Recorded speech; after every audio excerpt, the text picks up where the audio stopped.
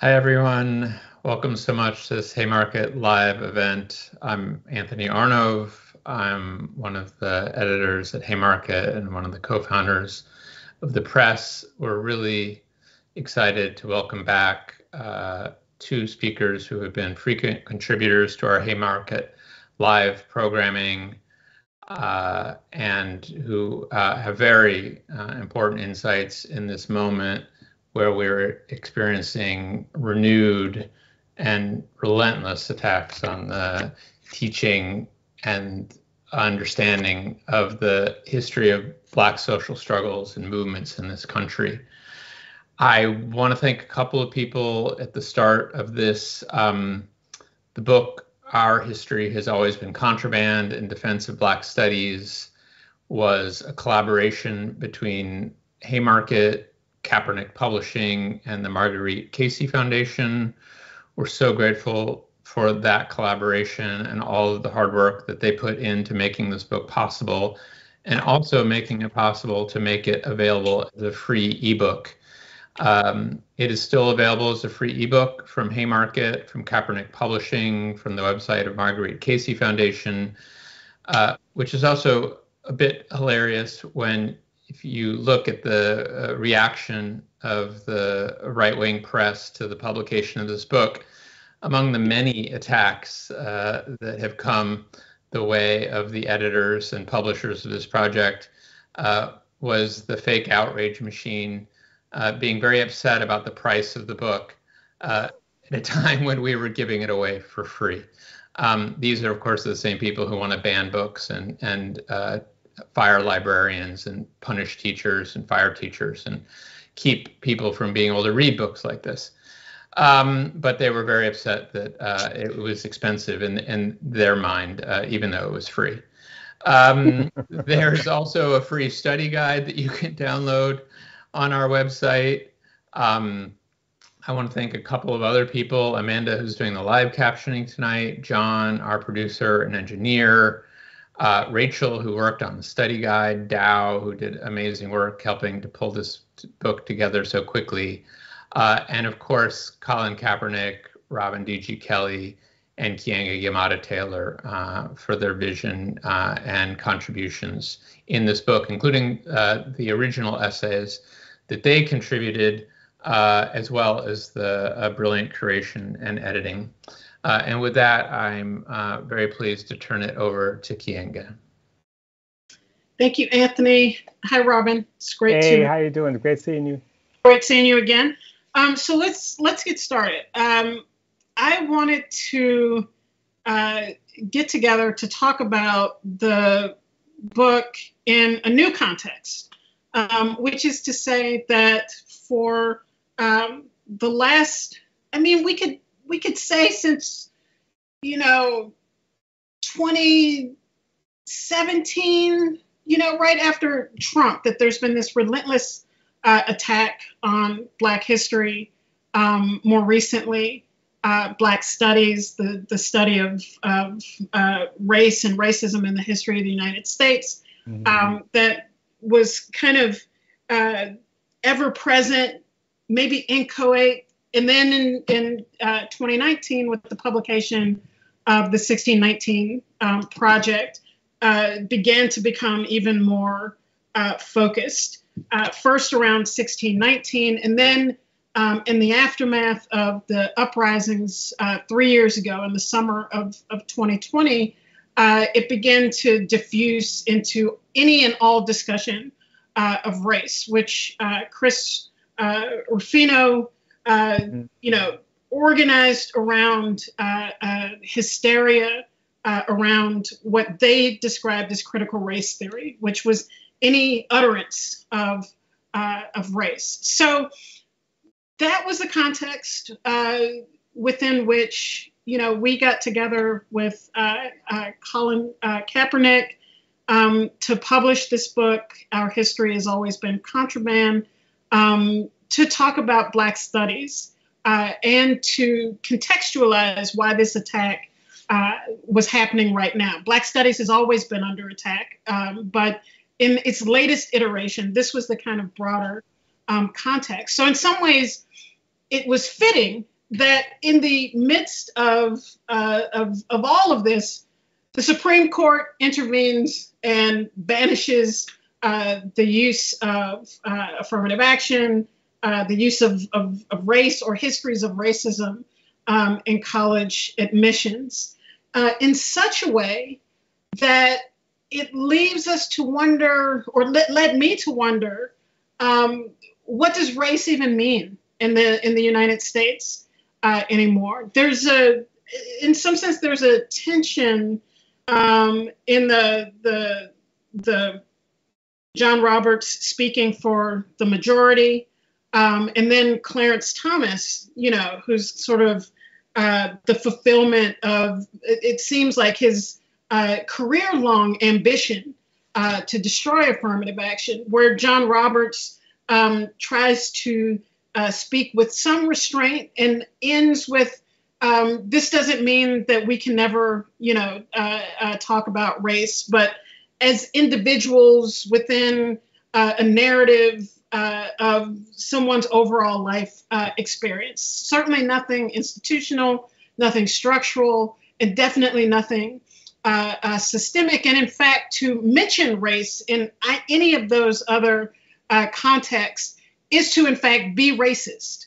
Um, so there was that. But then Clarence Thomas's, uh, I don't know if you've read the um, his uh, his concurring opinion. It's just a denial that uh, right. race factor um, in anything. And so, you know, he says that there's no causal link uh, between racial discrimination um, and what uh, uh, uh Supreme Court Justice Ketanji Jackson Brown um, describes as the gulf uh, between the experiences of ordinary Black people um, and their white peers, uh, Thomas says there's no connection um, between uh, uh racial discrimination and racial disparities.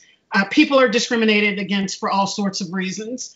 we don't know that race has anything to do with it. Just almost a caricature of himself, almost comical if the consequences weren't so severe.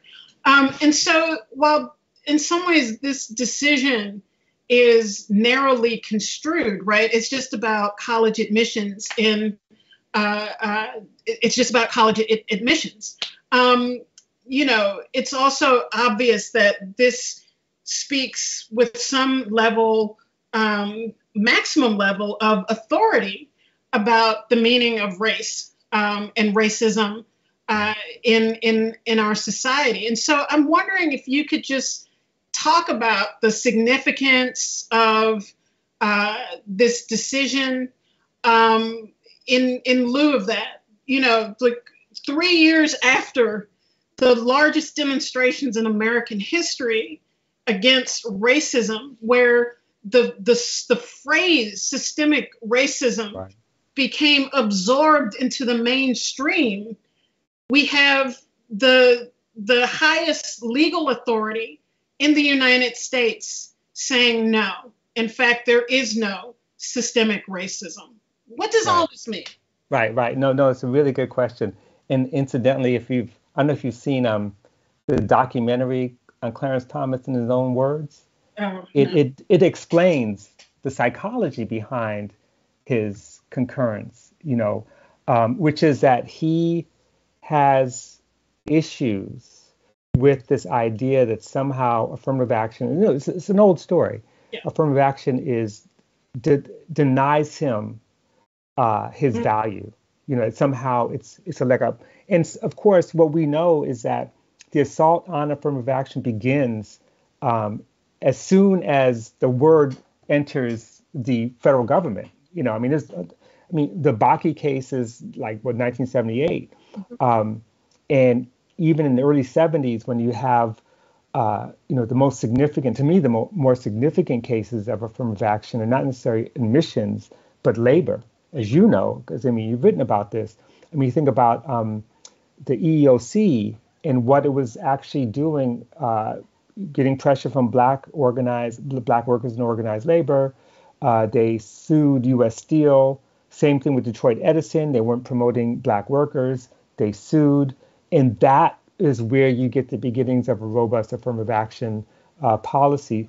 But the thing about um, admissions, as you uh, point out, it is narrowly focused and it hits that that um, psychology uh, of the kind of imposter syndrome, the the psychology saying that the purpose of affirmative action is to allow less than worthy or mediocre people into these institutions. But what we know is that affirmative action is about opening doors so that people who are worthy could take seats where all these mediocre white people have been like shuffling in left and right. And they still do it.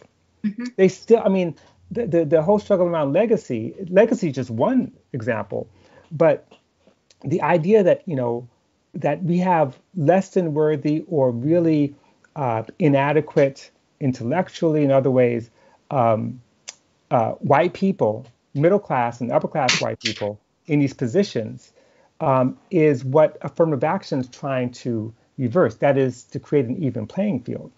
But that's not the way it gets positioned. Um, and so, having said that, when we think about what is what is race in that context, one thing I'm always reminded of that the only people who really, really, really believe in race mm. as biology are white nationalists. Mm. I mean, we, we've, been, we've been spending our lives talking about race as a social construction, and even people who may not be in our field or in our world have a sense that what they're dealing with is not race. They're dealing with racism. Mm. And again, we, we, you and I know that, but it's worth putting it on the table because um, you ask a lot of black people, you know, I'm they'll say I'm an individual, have my own unique things. Um, yes, I'm black. They'll be proud of that or embarrassed by it, whatever. But in the end, when you start to list the things that are barriers, these are structural barriers that are based on uh, not not necessarily racial difference per se, but the the meaning assigned mm-hmm. to this mythic racial difference. And that is the fundamental question. It's like, what does racism mean? And as you said, I mean, we're in this. I know it's it's cliche to say this, but talk. This is really Orwellian. When racism is anti-racism. Right. Anti-racism has become the new racism. If you say it, um, you are being racist. If you attribute anything to to racism, you're being racist. Right. Um, and that's sort of that is the the danger. And what's scary to me is that it does work. It's working in a sense that, I mean, even black people I know not I don't know well, but the ones I I, I end up talking I know to, of I know of do say things like, well, you know, don't talk about racism because you know we're all individuals and therefore uh, to talk about racism is to be racist. Um, and I just you know so that to me is is is one of the things that uh, we're confronting and one of the things that of course Black Studies has, in ethnic studies more generally, um, has really tried to counter this idea that race is kind of the real thing that determines value, mm. as opposed to racism as a thing that that de- that devalues through a mythology, you know, right. uh, a mythology that has certain material benefits for certain classes. One of the things that I've been thinking about um, with this is there, there are a couple things. One is that this decision, um, it seems to me, has produced very little outcry. Um, mm-hmm. I think that there was the kind of uh, initial. Um, and first, I think that this has been predicted uh, for uh, quite a while. Um, second, I think that um, aside from the initial reporting um, in the you know the first few days afterwards, there's been very uh, little you know kind of protest or, mm-hmm. or sustained outcry uh, around this. Of course, there are people uh, you know who are talking about it, who are writing about it, who are opposed to it, but um, it hasn't it you know days after the abortion decision um, was rendered, you know, there were thousands of people in the in the streets and uh, in demonstrations in cities across the country, um, and that hasn't been the case here. And I saw, uh, uh, I was mentioning this to you earlier that um, there were polls that were published in the um, Washington Post um, that showed, you know, there's an overwhelming majority of uh, white people who agreed with the decision, um, but there was nearly, what is this, half, 47% of black people who also uh, agreed um, that affirmative action should be banned in college admissions.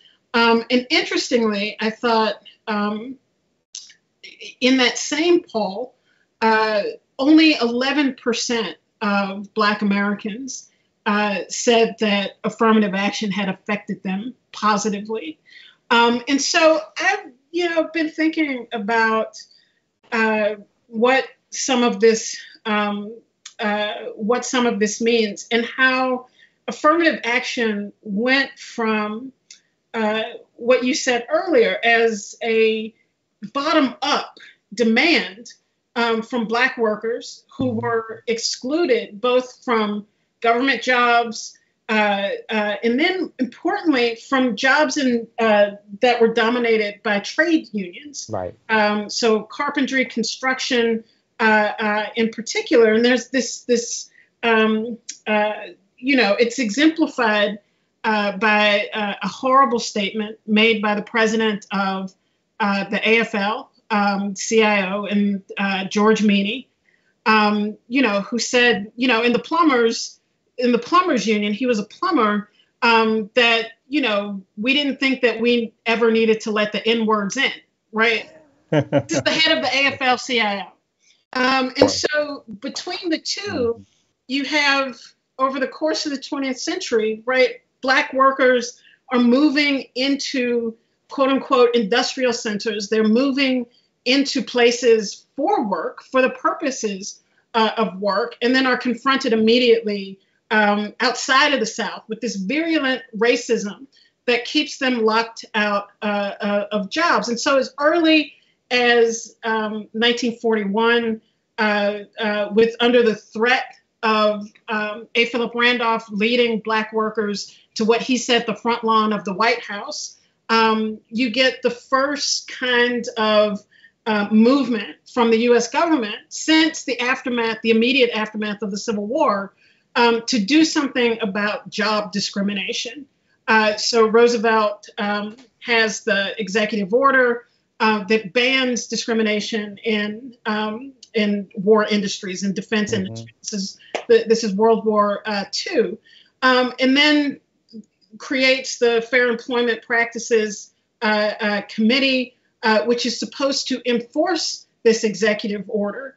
Um, and then there's uh, uh, Truman uh, calls for some similar government oversight that um, fights discrimination that allows black workers into government jobs. And then there's the 1964 Civil Rights Act, right. which finally bans racial discrimination. But all of this is motivated um, by the, the, the presence, the activity, the activism of Black workers. And somehow we get from uh, the demands of Black workers to the demands of not just students, right? Because someone sent me something that there's like over 5,000 colleges and universities um, in the in the uh, in the United States, and 70% of them just admit whoever applies uh, mm-hmm uh, to them. So there's like a 50% admissions rate.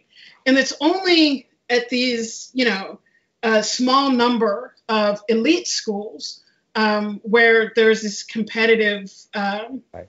uh, uh, attempt, you know, to, to, to get into these uh, uh, schools. So we've gone from black workers to can, how do we get into these uh, narrow, you know, small number uh, of programs, which is, of course, not to say that we shouldn't have entry into right. these small number of programs, but it might have something to do with how this program is conceived of, even by Black people, exactly. uh, as having nothing to do with you know most uh, most black people. I don't know. This right. is just something I'm thinking about right. in terms of like why is there so little reaction uh, to this? What seems like you know a very big decision. Right, right. No, I think this is a really good question, and let me let me. I've been thinking about it too in two different ways. One, of course, is this question of stigma. And this is the the Clarence yes. Thomas problem with um, but it's a lot of problems. It's, it's, it's, it's, stigma has been attached to affirmative action from its inception. Um, and so it's a kind of ideological war against actually recognizing what it does. That, you know, most people, if you ask them what affirmative action is, they'll say things like it's, um, what's the, what's the phrase they use nowadays? They talk about um, uh, rate, um, they use race as they treat it as if it's a kind of a boost, as opposed mm. to, mm. Um, you know, actually being truly colorblind. Um, and when I mean what I mean by that is that, you know, you talk about race-based, you know, um, affirmative action, which is to say that race should be a factor in putting you up at the top, when in fact that's not how it works. What it what it support what it does is it tells search committees and admissions committees that look, you can't just go to the normal people that you've been going to before because that normative, you know, um, pool, these are basically mostly white men and, some, and white women as well, but they're not necessarily, they don't always look like all of us. I mean, all of us. And so if you think about all the different skills and and and um, uh, and you know talents and benefits you know, we're all there. We all should be in, you know, everyone should be admitted. Open admissions is not a, a, terrible thing, it's a great thing. But to go back to stigma, stigma works.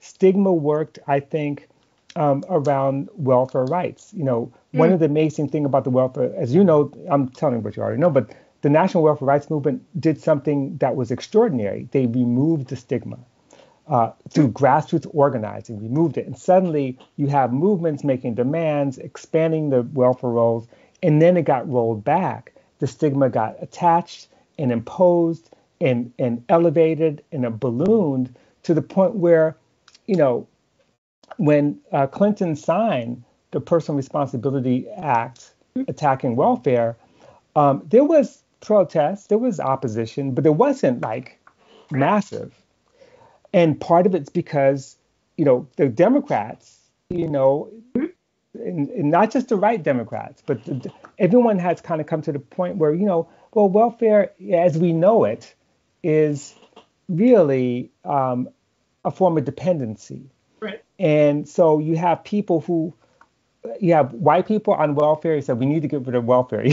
you got black and brown people on welfare. Said we need to get rid of welfare, without actually recognizing what it is what it is is at least the the modicum of trying to provide at least a floor for life right. for living just that's basically it like we call it basic income but basic income that's attached to all this policing and surveillance right. so to me the lack of response to affirmative action, except for the people that we know, you know, African American Policy Forum have been fighting this battle forever, ever, ever, and they're still like at the forefront.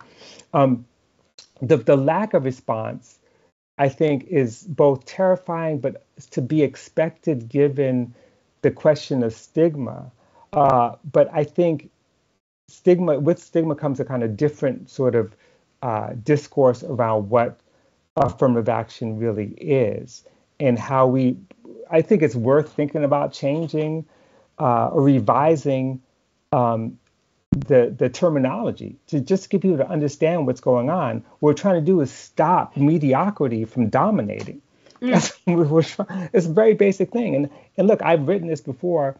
Um, you know, we work in universities where we're surrounded by so many mediocre white people. It's not funny. I mean, it's it's amazing. Like I I run into people, administrators, sometimes colleagues, but mostly administrators. Like, how did you get here? Like, well, who who did you pay? To get this job, you know? And so, meanwhile, I'm running into all these young kids who are in various programs that I have an attachment to uh, who don't have a prospect mm-hmm. for going to one of those schools. You know, the, one of the, the elite schools that everyone's trying to get into. And yet they're way smarter than a whole bunch of my students who sit in my classes at UCLA. You know, mm-hmm. but that's that's the reality we don't see. You know, and if we can just get rid of this this it's not just getting rid of stigma, it's also returning back to the question of understanding again structural racism.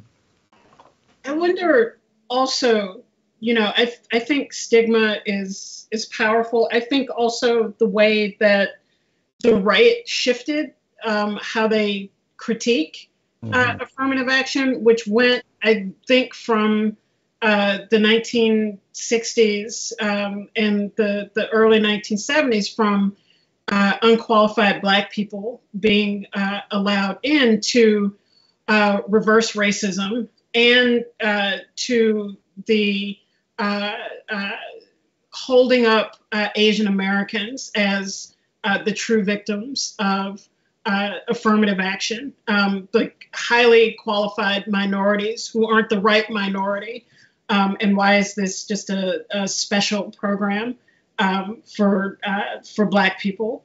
Um, and so I think that that is part of the the way that the the discourse on this shifted um, uh, is important. But I also think that, you know, there's been a kind of um, one sided uh, attack on uh, this notion that uh, the government should be involved in um, preference, in, in mm-hmm. promoting uh, the entry of some people um, uh, over others. and so you know, I think that um, when it has been characterized that, and not as a kind of reparative response, uh, as redress to the kind of um, formal exclusion. I mean, this is what is so outrageous, particularly with the UNC uh, uh, decision, University of North Carolina,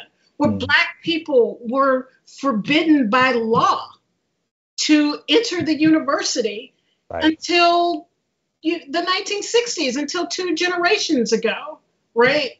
And and that is completely it, it is completely obscured. And so the notion of re- redress and repair uh, uh, for for past harm, you know, which is also a, a kind of way that colorblindness works.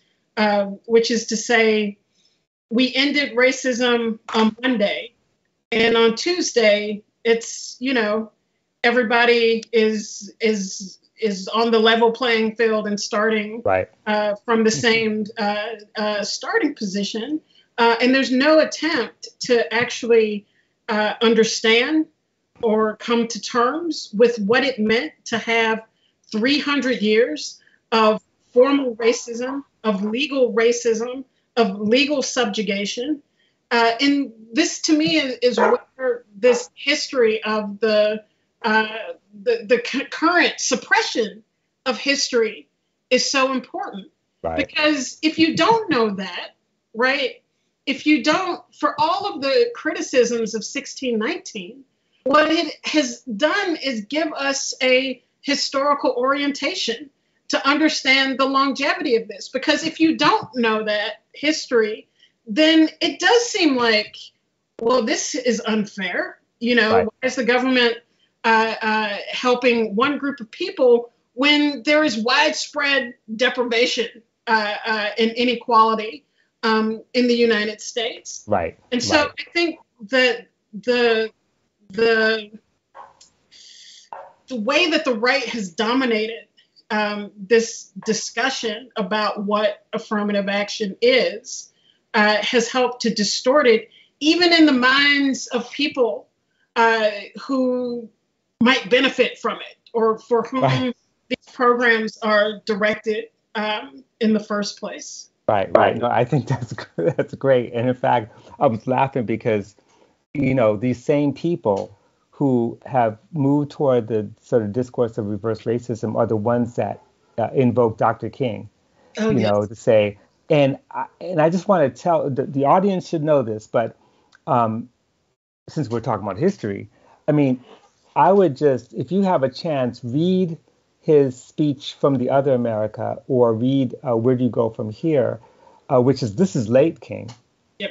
And not to say he didn't, this is new for him. He's been making this argument for a long time. And he says, you know, this is supposedly, you know, like 1967, uh, 68. Racism is still alive in American society and much more widespread than we realized. And he goes on to say, to talk about the kind of so-called white backlash and its impact. But he says, you know, he says, uh, white backlash is merely a new name for an old phenomenon. And his examples are the emancipation of enslaved people without land, while, quote, and this is King, giving millions of acres of land in the West and Midwest to its white peasants from Europe. mm-hmm. That's Dr. King. That's Dr. King that the right is, of course, invoking um, as their evidence for a so-called colorblind society according to their means, which, of course, color colorblindness is not colorblindness; it's basically white rule. Um, and the sad thing, just a side note, how um, our APA community is being used by white nationalists, basically by you know conservatives, as a kind of uh, Trojan horse to basically defeat affirmative action. And that's another story. We could talk about that. Janelle Wong has written some amazing stuff about that. There's a lot of writing on that. But what I want to get to very quickly, this is building on what you just said, is you know, I live I live in California.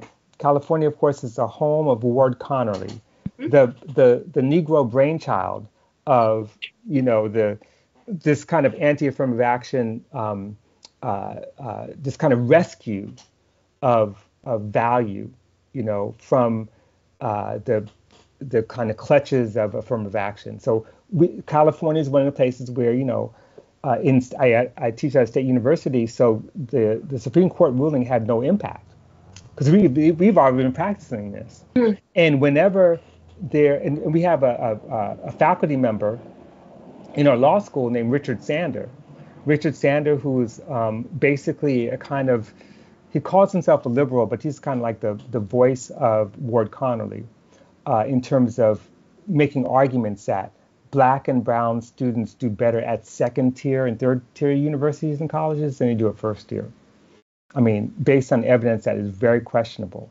Um, but he's also pushing for this. So, just to give you a little story, a few years ago, um, Richard Sander had written this article. Ward Connerly had been calling for an investigation of the UC system, specifically UCLA, because we've been sneaking in too many black students. You know, so the fact that our black admissions uh, had gone up, Ward Connerly's position was, and Richard Sanders' position, especially Connerly, was that something is fishy going on at UCLA. There's no way you can increase the black enrollment, um, black admissions, unless you're cheating. Right.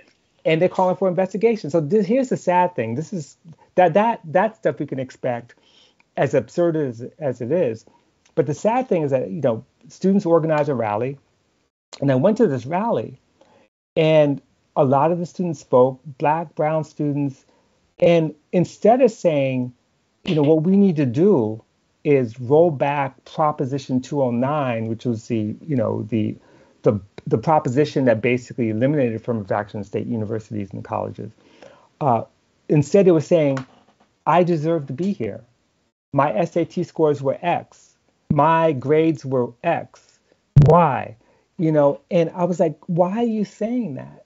But you're making the argument that this is a meritocracy, mm-hmm. and therefore you merit being here, and so no one should question that and and on on the surface of it, I understand that, but a kind of politics, the kind of vision of a different future is to say, we all do belong here, and so what if my SAT scores weren't that high? You know, I'm I'm doing something here. I'm making I'm making something, creating something, being here to learn. Why shouldn't we open the doors for everybody? Why don't we just eliminate Prop 209? But no one made that case. And it was sad to me because, again, it's the power of the discourse that somehow affirmative action um, is damaging us, mm. even when the idea was to reduce the damage that have, have kept us out, you know, like I said, with UNC, two generations of just accepting black students for the first time, you know? So I have a, this raises a, a, a question um, for me that might be slightly different for uh, state schools. So there were similar affirmative action decisions uh, in Michigan, now North Carolina, uh, California being the, the kind of uh, original test case um, most recently. Um, and so, is there a way in which one is is is there space for a left critique of uh, affirmative action, uh, which is to say that do these programs kind of reinforce a scarcity model uh, that exists in these uh, state institutions where we should be saying open admissions, everyone has the right uh, in a society that is structured uh, to you know benefit those with a bachelor's degree mm-hmm. uh, that everyone has a right um, to go to uh, uh a college, uh, a good college, a state funded um, institution, uh, in that affirmative action, um, in some ways, I think there are two things. One is that it kind of preserves this idea that um, there's limited space mm-hmm. and we have to fight um, over the spaces that uh, over the spaces that e- exist, and whether there's also, uh, you know, it's it's it's like it it's it's not challenging anything really, right? It's we want to uh, be included, not excluded. Right. Um, but we're certainly not questioning any of the existing dynamics uh, once we are included. We're just saying, don't keep us out of this deranged system that you have created uh, in this this you know this meritocracy that you claim to be concocting. It just says let us into it. And right. so, is there is there a critique uh, to be made with these programs? Yeah, you just laid it out. and you know what's so great? I mean, I, I completely agree. And this is something that I think a lot of us have been saying. Um, uh, and there's models. I mean, City College is an amazing model. This is film that's out now called The Five, Five Demands. Mm. And, you know, City College is a wonderful film. Um, City College is important because they not only uh, fought from the, from the community perspective for open admissions and mm-hmm. succeeded, uh, open admissions and free tuition. I mean, you know, no one's paying anything to go there, and, they, and it's open admissions. But they created. I mean, this was the this was the place where, um, you know, Audre Lorde and um, Margaret Prescod, and I mean, there's a whole bunch of people who were there. Harvard teaching. on the Hudson. Yeah. Right, Harvard on the Hudson, who basically created programs for you know welfare um, recipients, uh, many of whom are you know um, mothers uh, they uh, created programs for um, students who don't necessarily have high school diplomas to help them prepare for admission to college um, and to succeed. Uh, basically, focus on the working classes. Mm-hmm. And City College has a long history of kind of working class radicalism. But um, but in the 60s and 70s, you think about all the people who came out of City College in that period of open admissions, many of whom would have ended up maybe in jail, you know, and yet ended up being amazing writers and poets and scholars and intellectuals and scientists. Mm-hmm. So there's a model for that, and that is a rejection of affirmative action, and uh, and instead of kind of you know again the scarcity model where you sort of create you you basically eliminate you create space for what people think of as quotas are never really quotas, but you think about that as opposed to saying open up the doors, rethink education altogether, create programs so that the people who have been historically left out are the ones who could benefit from a college education and and limit the star system in which a Harvard and Yale uh, and Princeton uh, education is worth way more. Although I have to say, um, you know, I, I know, I, well, I know you've had experience at these Ivy League schools, but what I paid for my college when I went to Long Beach State, uh, which is a state university in between 1980 and 83, which was $90 a semester, that the, the value of my education yeah. compared to paying what my daughter paid, uh, what I paid, what you paid, Wes, what I paid at Wesleyan, which was upwards of seventy thousand dollars. I'm like, I got the better, I got not just the better bargain, but it wasn't that the education at the Ivies are that much better. You know, right. it was like it's not like a thousand times better, not even a hundred times better, not even fifty times better. And yet that's the going rate. And so, of course, the final conclusion is that yes, there's a left critique, and, and it, it involves crushing capitalism. well, you know, I went to City College um, uh, for three years, and the when I went was was a during a period in which um, it was in the 90s, and the uh, CUNY itself was being um, gentrified and retrenched, and so uh, you know the the 1970s and the struggle around open admissions then mm-hmm. um, was always a touchstone. Uh, the ways in which it ended, right, which is right. Uh, during the fiscal crisis in New York. Um, in 1975, 1976. This is when uh, the state used that crisis as a way uh, to end open admissions um, and to, you know, begin a long march towards uh, reconfiguring uh, the the the four-year colleges within the CUNY system uh, into um, places that were attractive uh, to the middle class right. uh, and to, to really root out uh, the working class Black and Puerto Rican students that um, had taken advantage of uh, this, this free education. Um, and so th- that was open and available uh, to all, you know, who were interested um, in it.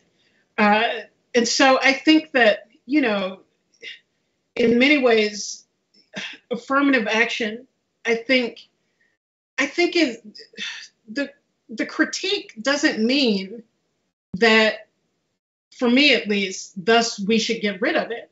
Right. The critique is that it doesn't go far enough, right? Because we can look and say from the 1960s when these programs first started to be implemented to today that there has been a certain level of success that is undeniable, right? That's like right. The, the flowering of the black uh, uh, middle class, which can be measured in all manner of ways, but whose highest expression has to be uh, the president presidency of the United States, mm-hmm. The largest uh, uh, number of black uh, elected officials in, in American history. Um, I think in, in 1967, there was 0.2 uh, percent of the black population was making over $250,000 uh, a year. Today, it's 7.5%. Um, and so there are things that you can point to that speak to some measure uh, of progress that is inconceivable without the 1964 Civil Rights Act right. and without the EEOC um, and without the affirmative action programs that are created to open uh, uh, those spaces in both colleges and universities, but also um, throughout, you know, corporate America, the federal government, and all of the rest of it. But it's not enough. Right. It hasn't been uh, enough because you still have, uh, you know, the disproportionate number of Black people uh, who live in poverty, that mm-hmm. Black women dominate uh, the, the statistics when it comes to who is most likely to be evicted. Uh, the, all of the barometers by which you measure the quality of life in the United States, um, Black people's existence is defined by uh, deprivation. Right. And so that has not been uh, it has not been enough. And I think the the the scarcity model of allowing a few people into this or that uh, profession or into having these this or that number uh, of jobs. It's one thing to do that when the economy is expanding. Right. It's another thing to do that when the economy is uh, uh contracting, when right. the lifespan of working class people is gone into decline. Uh, then it also seems like a recipe uh, for um, setting people. I mean, this is what scarcity does, right? It forces us to fight over uh, the few things they tell us uh, that exist for ordinary people. Um, and so I don't know what all of that means, except to say that to me, this is part of me trying to understand why, in this particular political moment, affirmative action is not this kind of rallying cry right. uh, that people are are are gathering around as what we need to do next. Exactly, exactly. The, yeah, movement yeah. against racism. Exactly. exactly. And, and, let me, and let me just add one other thing to that because you just reminded me of something else. I mean, the truth is, as we know from our students and from the people we just deal with, um, a college education now is not getting you two hundred fifty thousand dollars a year. It's not. In fact, it might get, get you a job at Starbucks. Right. And that's about and it. you get debt, and then you end up in these low wage jobs. So, so here we're dealing with a situation in which you have, um, even when you have an expanding economy, in the the neoliberal order is one in which expansion doesn't necessarily lead to or result in wage increases. It doesn't result in lower housing costs. It doesn't. In fact, it just results in a concentration of wealth. You know, and that's something we know. But now it's like I could understand why affirmative action fighting for it could feel hollow when you're turning around and see all these people with college degrees yes. um, who are basically baristas, right? Or they're you know working at Amazon. I mean, you know, there's there's a lot of there's a kind of ceiling now that makes it difficult. And then you have all the people that you know we we know and we train and we teach who say I want to be an organizer, and they go into that world and they're living in poverty under huge duress in terms of the workload and the, the pressures. Um, and so we're witnessing that as well.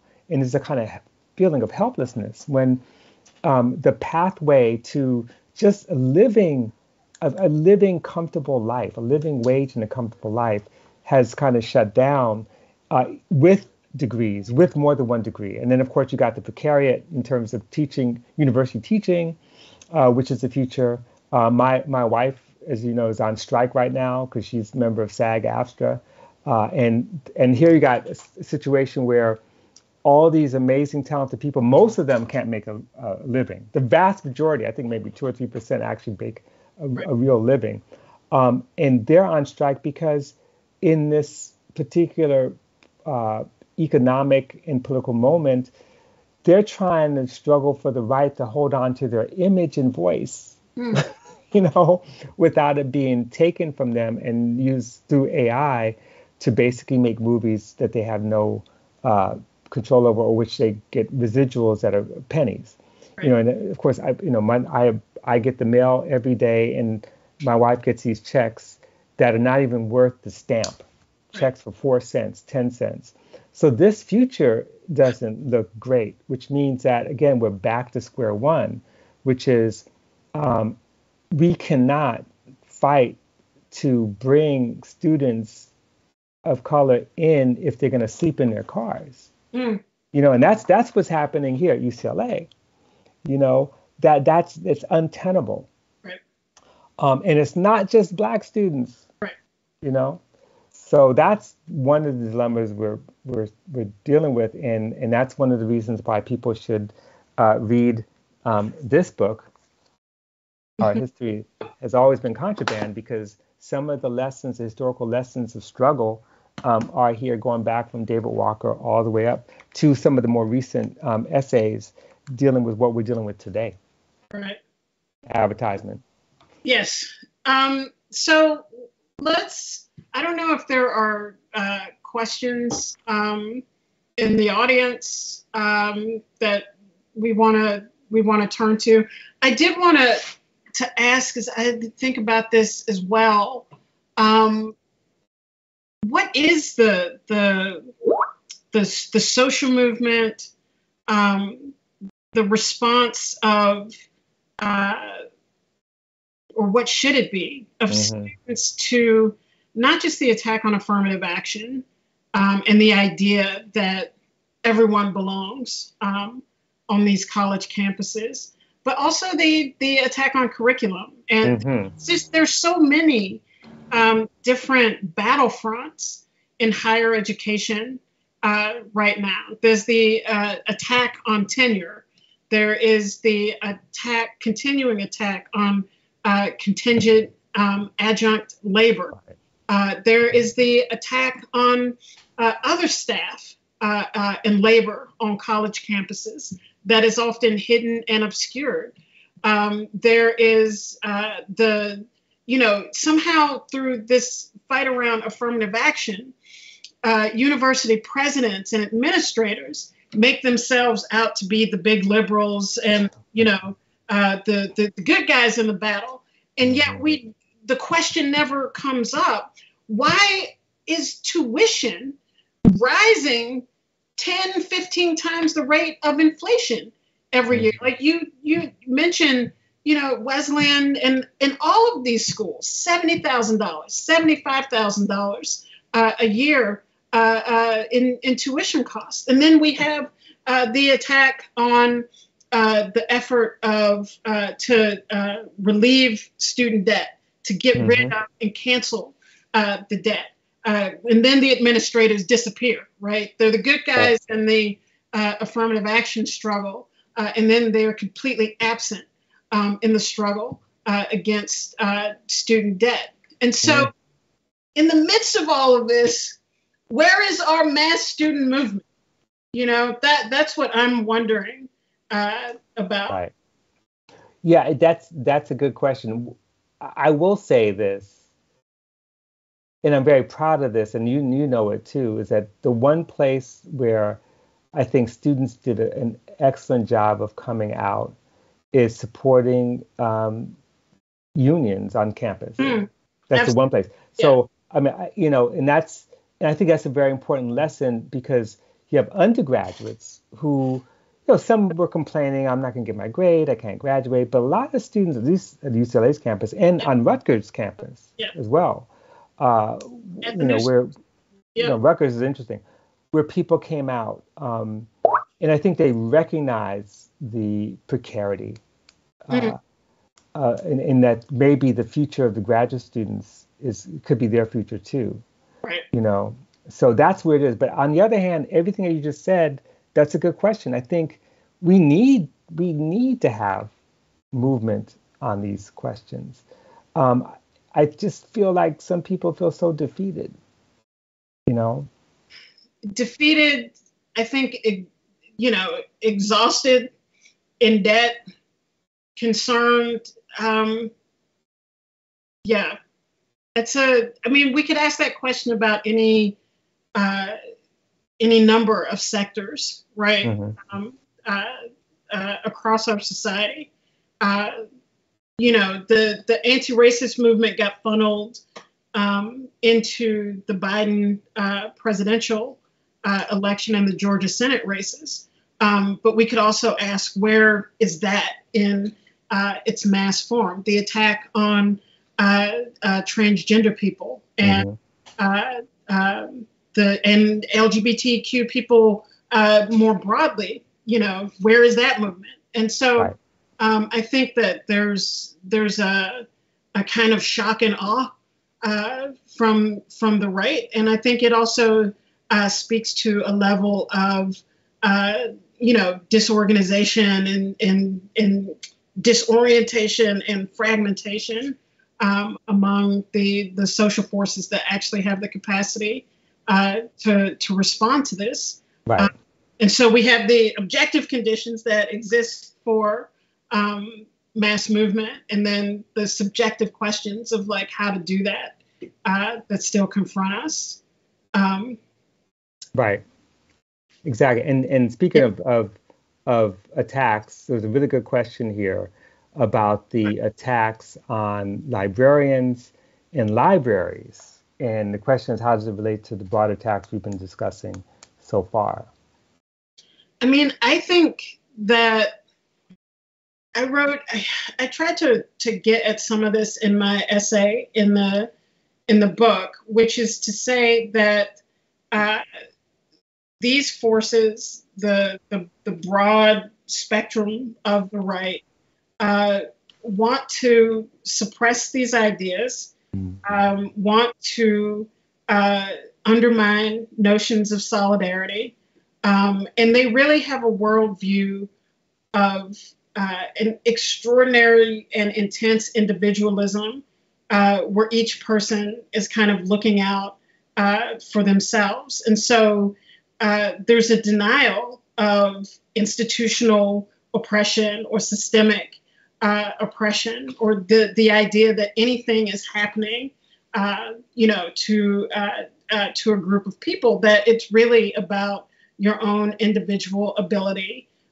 to, you know, to fend for yourself mm-hmm. in this society. And I think that they have gotten traction around schools and libraries because uh, it's a it's a place where uh, kids are involved. It's a place where parents can feel some sense of control in a life where you have no control over anything. You can control your kids. You can control what happens uh, at their school, um, and I think that that has has created uh, some particular traction uh, around uh, around this uh, this issue. Um, right. right. but yeah, it's it's pretty frightening. It is, and you know the fact that you have all these librarians who are being fired, again, death threats. Uh, mm-hmm. the fact that um, you know we lived through the culture wars of the 90s, and, and you know there was a lot of opposition to Toni Morrison and Gloria Naylor and all this, but they weren't actually, uh, very few were actually burning books mm-hmm. and banning books and destroying um, whole bodies of knowledge. Um, however, one of the things you, you, use the word control, which I think is a really, really key word here, because one of the things that um, this movement kind of mirrors, although it's like the opposite, is the struggle for community control that I, I mean I grew up with yeah. in the 60s where you know parents, black and Puerto Rican parents in New York City, for example, in uh, Ocean Hill, Brownsville, and, and even in, in, Harlem, they were fighting to have some say so uh, over who is hired, what the curriculum will look like in order to expand that curriculum, in order to open up. And here we got this movement under the name of control, parent control, uh, parents' rights, yes. contracting knowledge. Right. Yeah. and where the parents are always white. I mean it, it is astounding right? Where they the the media allows these creatures to come on um, and to proclaim themselves to be acting on behalf of uh, parents. Um, and it the the the rights of gay parents or of uh, the parents of transgender children uh, the the parents of black students, of brown students, um, is completely uh, ignored um, in this in this uh, discussion. And I do think I did write about this in the, the essay um, that 2020 um, shocked, I think, and scared uh, these people on the right. Um, mm-hmm. And I think part of that was the multiraciality of, of the protest. And they blame schools, they blame colleges, they blame libraries, right. they blame history and the exposure of students to that history for creating these wells of sympathy and solidarity um, between young white people uh, and their black peers. Mm-hmm. And they saw it all over. I mean, in places where, you know, there's a kind of cynical response to the protest in 2020. Uh, oh, white people are participating, so they get credit. Well, if you're in Boise, Idaho, where there are like six black people, who are you getting credit from? Right? In, in Portland, Maine, right, where right. there might be seven black people, who's giving you credit for participating in an anti-racist uh, demonstration. Mm-hmm. Right. And they and and they will talk about this the Bet, Betsy DeVos or whatever damn name is uh, Scott Walker, the former governor of Wisconsin. They say this openly right. that we have got to get this liberal curriculum out of the schools. Right. This is why we're not getting the votes of young people um, in in these elections. And right. so th- this is, you know, I think that this speaks to uh, the the power of misery that is happening in this society uh, that is generalized in many ways and that is creating uh, uh solidarities that really frighten um, the the right uh, and you know the people with power and authority in this in this society. Exactly, and have been doing so for a long time. You yeah. know, in terms of the, I mean, we we've lived through Campus Watch, we lived through all these different forms of surveillance, which are now just hyped up. You know, it's it's true, um, and we do we do work in the classroom that helps people to think, and that thinking then leads to challenges to what we think of as like kind of naturalized American empire. There's a question from uh, about European countries, and I just wanted to pose it because it's actually a very good question, which you know we have the answer to, which is um, European countries. Uh, how do they provide free or low-cost university education to their students, going so far as to provide housing and a stipend for students? What's different here, of course, it depends. Um, Oxford's moving more and more. Yes. Or trying to increase tuition, um, and and it just depends on where you are. But it's true. You're talking about, um, you know, European countries with a longer tradition of social democratic welfare states in which universities don't have to rely so much on endowments. And the endowment, the endowment structure is kind of weird, where you have to raise so much money and live on the interest, like use the interest. Right. But then that's not the only source of income. The source of income is tuition, and then with tuition comes uh, uh, grants. You know, some from Department of Defense, some of it from you know um, petrochemical industries and that sort of thing, uh, and investments on that endowment. So it's a different kind of model for again. I'm not saying there's not univer- European universities that do some of that as well, but the U.S. that is the model. Um, and you know, anyway, you may have some things that. I mean, I would say we could ask that about healthcare in Europe. Mm-hmm. Ask it about um, housing. This is about the, the social democratic welfare state um, in Europe as opposed to uh, what we have here, which is a very thre- you know threadbare, uh, stingy, um, effervescent uh, uh welfare state um, that you know often exists in the, the, the figment of our imagination uh, when it comes to the distribution of social welfare.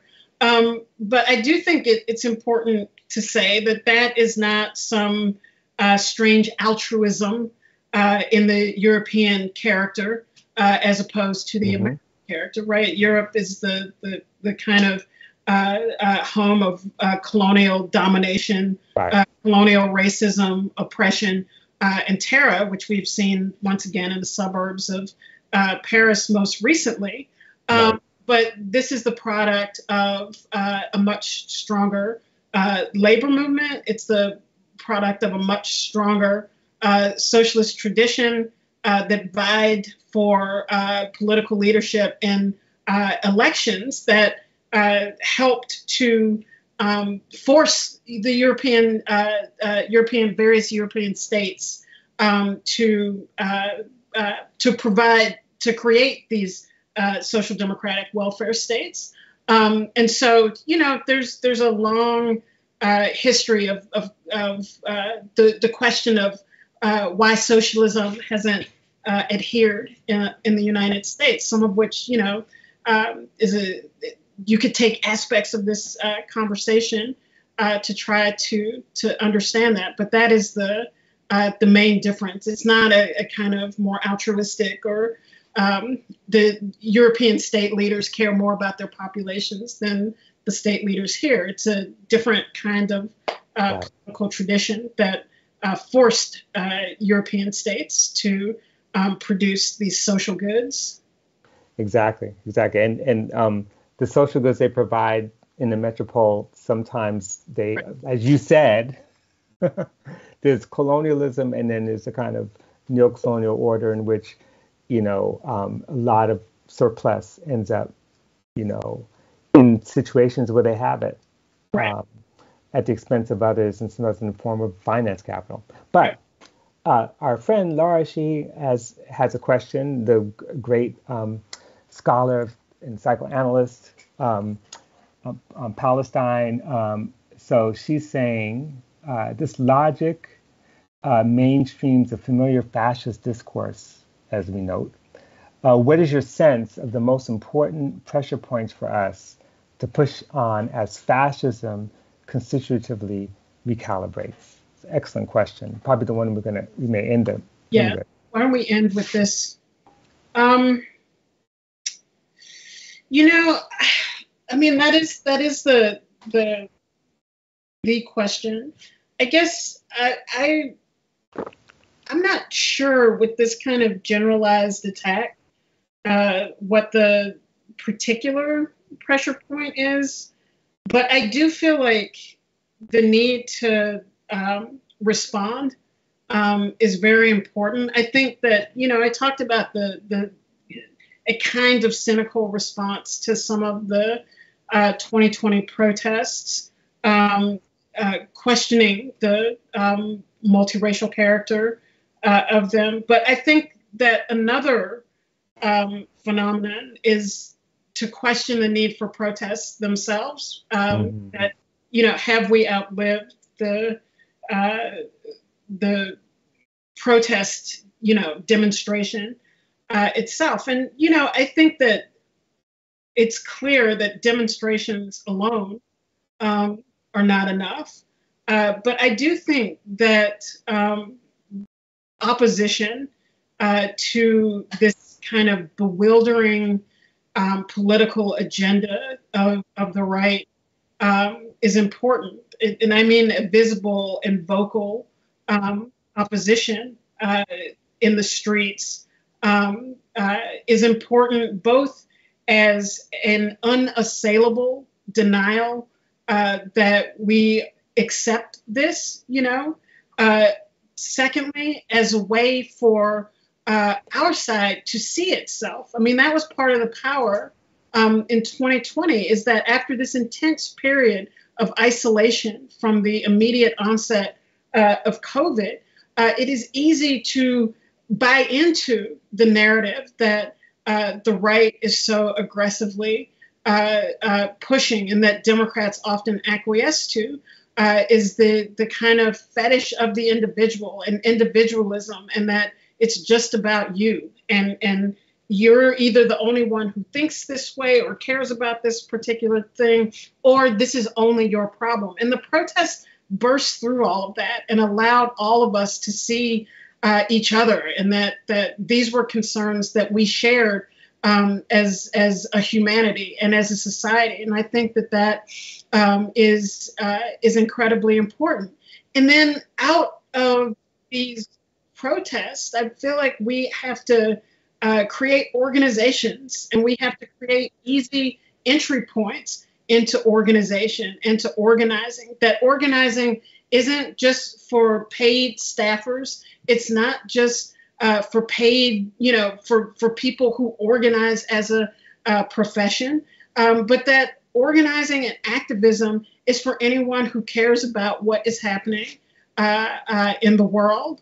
Um, and out of that, uh, have to be developed uh, a set of politics that explain the crisis, explain what is happening around us, explains the relationship between these different uh, attacks as a foundation for building um, uh, uh, solidarity and for an argument of why we have to fight uh, together and that an injury to one is an injury to all. And then to me, the last part of this is that the, the protest over social questions has to connect with labor. Uh, mm-hmm. We have to reinvigorate the connection uh, between the economic and the political, um, and that the, the, the labor movement really is the next frontier, which means we all need to support the UPS workers. We all need to support uh, the, the, the SAG workers. We all need to support these picket lines um, and to, to really build this connection between the political and social struggles and the economic struggles that uh, really are the foundation of uh, rebuilding uh, a much stronger uh, left in this country. Right. Right. No, I, I agree. I say ditto to all that. And I would add one more thing briefly, and that is, um, and this is something that I've been learning. Uh, I just recently finished uh, Alberto Toscano's mm-hmm. Forthcoming book, Late Fascism, which mm-hmm. I would suggest to everyone. And one of the things he reminds us is that liberalism is not the opposite of fascism. Uh, and so part of what happened, as you know, from spring 2020 was the you had this potential emerging a kind of abolitionist politics, which then got derailed by liberalism, as yeah. as as happens, and liberalism as the response to what even they, even liberals, are calling fascist. Right. You know, uh, and so that liberalism played itself out in terms of we need to get a good, uh, we, we need to believe in the system, ensure that you get to go out to vote and support a Democrat, not a spoiler, to make sure that the fascist is not in power. And you know, people can be mad if I said, well, what what the what was the outcome? I mean, you know, yes, Trump wasn't in power, although he's he's about to be elected. Um, uh, okay, well, I shouldn't. That's another that. show. But but but ultimately, liberalism derailed what was a deeply anti-fascist uh, movement because you can't have anti-fascists uh, that's not anti-capitalist because you know the ground in which fascism emerges is capitalism and so you know so i think the, the book is really important and the final note on this is that what's what's important about toscano's book is that what he does is he looks at um, anti-fascist thinkers and theoreticians many of whom are um, come out of anti-colonial movements, anti-racist movements, um, anti-capitalist movements. He, you know, from George Jackson and Angela Davis, as you know, uh, to uh, you know um, Herbert Marcuse and and others who've been thinking about you know a critique of fascism that's not about making a list of of characteristics, you know. Um, but we have a lot of work to do, and uh, and I'm with you. You know, we have a movement. Um, our history has always been contraband, and not just Black history, but any kind of radical history that you know critiques the status quo in, in this settler colonial um, orientation. So um, with that, uh, it's always a pleasure to talk to you, Keeanga. it's Absolutely. always fun. Wish we lived in the same city, could hang out. I know. You know. Yeah. All right, and, Robin. Yes, and thank everyone for showing up, and um, and don't forget, get this book. It's really interesting. Thank